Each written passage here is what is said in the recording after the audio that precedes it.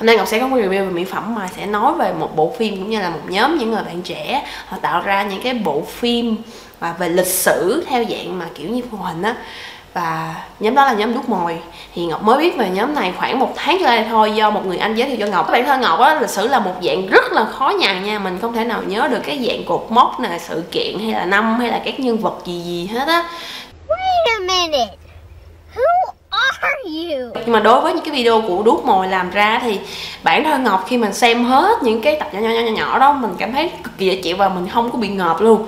Và cái diễn biến câu chuyện nó nhẹ nhàng nó làm cho mình không có bị nản nữa. Cái dự án này nó được khởi động từ năm 2017 và tới năm 2020 thì họ gây quỹ được khoảng 2,5 tỷ đồng và trong suốt khoảng thời gian 4 năm đó, các bạn nghĩ 2 tỷ đồng. Đối với những người giỏi thì Ngọc nghĩ là không phải là một con số nó lớn đâu. Nhưng mà các bạn ấy làm vì đam mê và vì những cái nhiệt huyết mà những người trẻ có được thì mình rất là tôn trọng cái điều này. Mình thấy là các bạn ấy còn có những cái dự án đinh, ví dụ như là La Một Kỷ nè, Vũ trụ thời trần nè. Và mình đang rất là hào hứng để mà đợi chờ xem những cái video của bạn ấy. Về cái bộ phim mình con chiến thì trước khi xem bộ phim đó, các bạn nên xem những cái video nhỏ nhỏ nhỏ nhỏ để mình hiểu về cái bối cảnh lịch sử này cũng như cái dòng thời gian nó diễn ra như thế nào và khi các bạn xem bộ phim này, các bạn có thể hấp thu được hết toàn bộ những cái tinh thần, những cái nội dung và những cái sự kiện trong đó sẽ không có làm các bạn bị ngạc nhiên hay bỡ ngỡ gì hết. Thôi giờ mình xem phim liền luôn đi ha.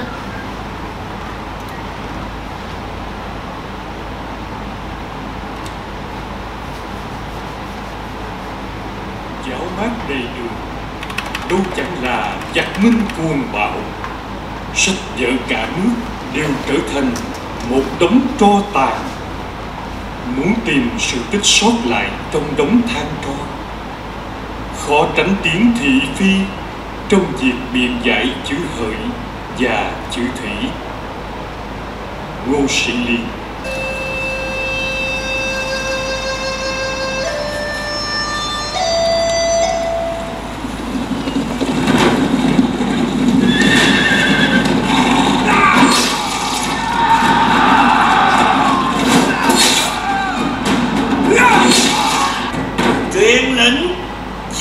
không chừa một ai. Ghê chưa? Gắt chưa? Cái hình ảnh chuyển động rất là mượt nha các bạn và những cái chi tiết nhỏ nhỏ thôi họ chăm chút rất là kỹ nào là màn đi vô đi ra ha rồi nhân vật như thế nào tạo hình rồi lời nói.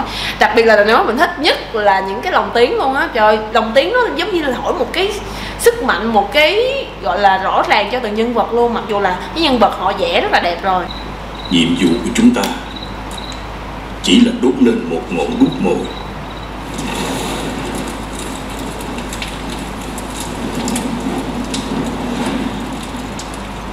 để những đốm lửa nhỏ kia cùng nhau bùng lên thành một đám cháy.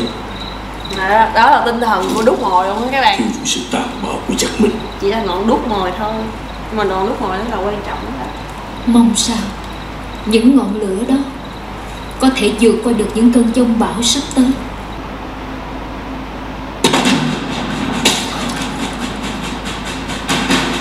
xong phim luôn. Trời ơi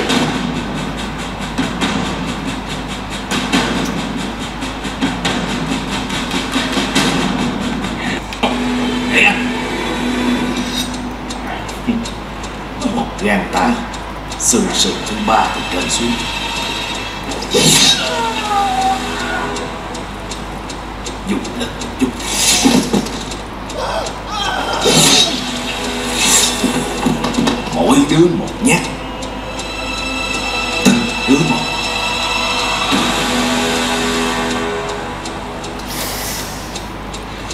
mặc dù là chỉ là hình ảnh đồ vẽ lên thôi, nhưng mà mình thấy creepy vãi luôn á. Nè. Hán diệt sở lập ra triều đại 400 năm Thái Bình.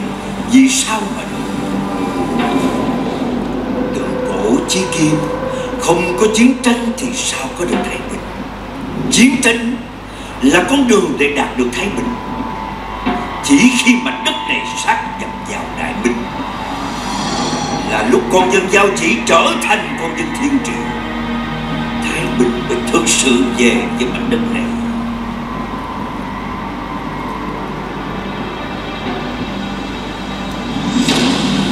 Chính vì điều đó, Để đạt được Thái Bình, Ta cũng không ngần ngại bàn tay này giấy máu. Wow khúc này đẹp quá các bạn. Khúc này là là là đúng là cái vẽ rất là đẹp luôn á, trời ơi phải nói là cái tính nghệ thuật rất là cao luôn á. Các bạn thấy những cái tấm màn nó xuyên xong như vậy ha là mờ mờ mờ nha viết xong tạc mực mà lúc cái viết mực á nó đẹp.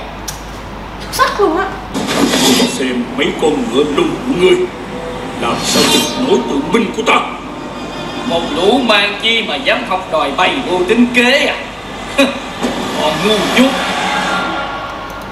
Nó coi thường vãi luôn nó nói mình bọn mang di. Giống như kiểu dân mọi dân rừng là chỉ biết ăn cắm sú cắm heo thôi chứ không biết làm cái gì mà về mưu tính kế hết á. Tất á nghe khúc này mà quạo luôn á. Dạy cho ngươi bài thứ hai. Kẻ mạnh tất thắng. Let me see. Chết nó kéo nguyên một dàn ờ, chắc pháo rồi. Pháo. Bọn bay sẽ chết không có đất vô rồi gì đâu ra sau trận chiến thành Đa Ban thần cơ sang pháo đã trở thành nỗi kinh hoàng trên chiến trường. Là thuận thiên kiếm của chú công. Tại hạ là Thái Phúc Đô đốc của Đại Minh.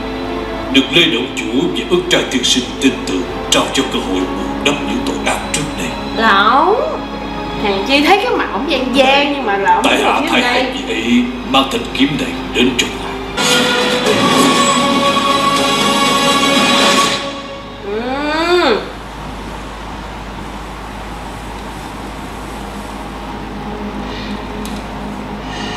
thất thần liền. Đâu dám giỡn mà Chỉ cần ta thì Dương Thông còn ở đây Trước khi đinh lễ phá dây Thì đầu ngươi đã rơi xuống đất. Ghê vậy mạnh vậy.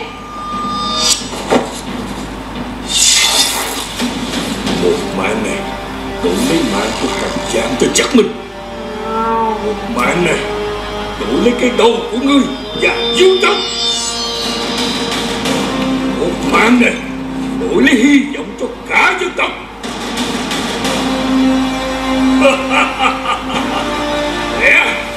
cái giá này quá rẻ rồi.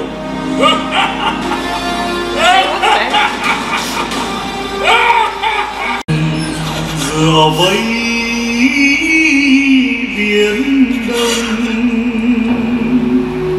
Non sông nhớ lấy máu Dừa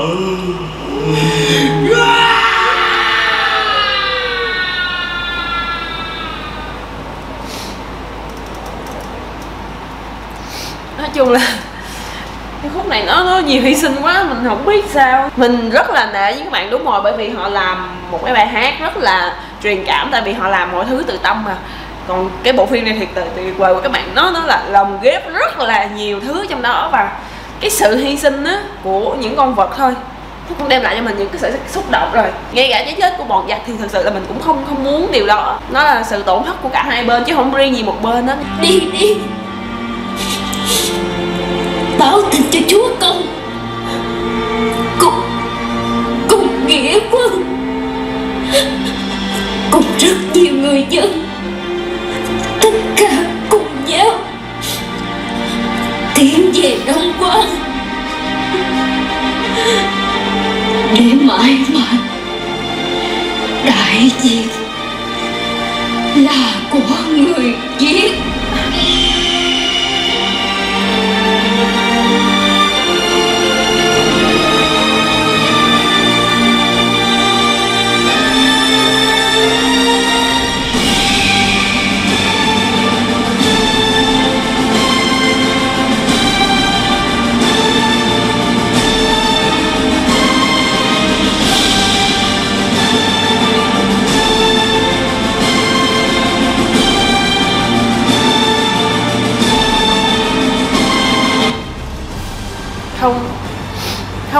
Để nói luôn, kiểu thật sự là thật sự là không còn một cái lời gì để diễn tả ngoài cái sự tôn trọng hết á. Những cái điều các bạn đã đóng góp cho cộng đồng là cái điều mà sẽ tồn tại rất là lâu. Xét về nội dung là ngọc cho 10 đỉnh luôn bởi vì các bạn làm cái kết cấu câu chuyện nó rất là chặt chẽ nha từ ờ, cái đoạn đầu nó đi nhẹ nhàng và nó dẫn chuyện vô cho mọi người dễ hiểu nè. Rồi khi mà khúc nào mà cần lên kịch tính để mà đẩy cao trào lên cho những cái khúc sau nó bạn lên đúng lúc luôn. Và có một điểm hay đó là ngọc thấy là lúc mà đánh trận á thì người ta có chiếu cái phần bản đồ nữa là ở phía đông thì đánh như thế nào và nó sẽ phá vỡ trận như thế nào ở phía tây thì bị uh, vấn đề gì hay gì đó. Nói chung là ngọc thấy là cái phần đó là làm cho người xem cực kỳ dễ hiểu luôn đặc biệt là trong những cái trận đánh mà nó có nhiều cái khúc khúc như vậy á.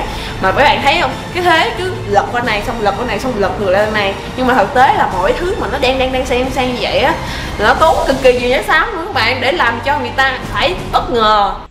Vỗ tay, vỗ tay Vỗ tay.